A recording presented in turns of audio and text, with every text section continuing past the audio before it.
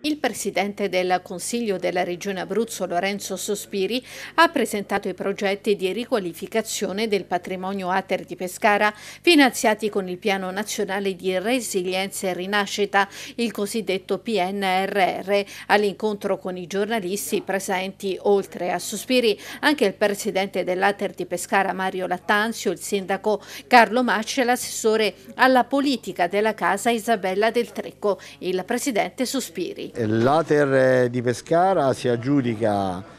26 milioni e mezzo di euro, di 46 disposti dal governo per riqualificare il patrimonio di edilizia residenziale pubblica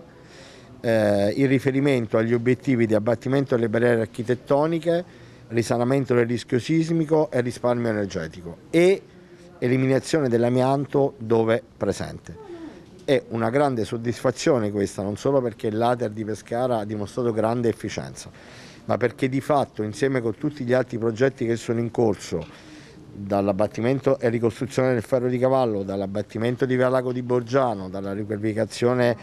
di via Ciglia e di tutte le altre attività presenti come via Ricopiano, noi potremo riqualificare l'intero patrimonio di edilizia residenziale pubblica. Lo riqualificheremo strutturalmente, nel frattempo lo stiamo già riqualificando dal punto di vista della vivibilità perché come è noto la nostra legge sta dando i suoi primi risultati tangibili e chi non ha diritto di occupare un alloggio popolare sta eh, lasciandolo. Ma quali progetti interessati il presidente dell'Ater di Pescara Lattanzio?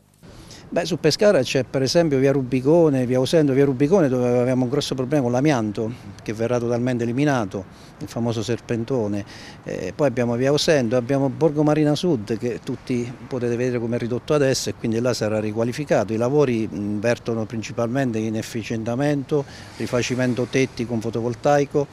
eh, le aree esterne, la parte sismica, infissi, caldaie, quindi erano fatte delle cose veramente insomma, anche belle a vedersi ma eh, comode per chi ci abita e quindi sono poi stabili molto vecchi che hanno bisogno di questi lavori, quindi questo è un finanziamento proprio che è sceso proprio ad hoc. Allora per l'Abruzzo, per l'edilizia residenziale pubblica 46 milioni ha dato il governo, di questi 46 ne abbiamo presi il 56,8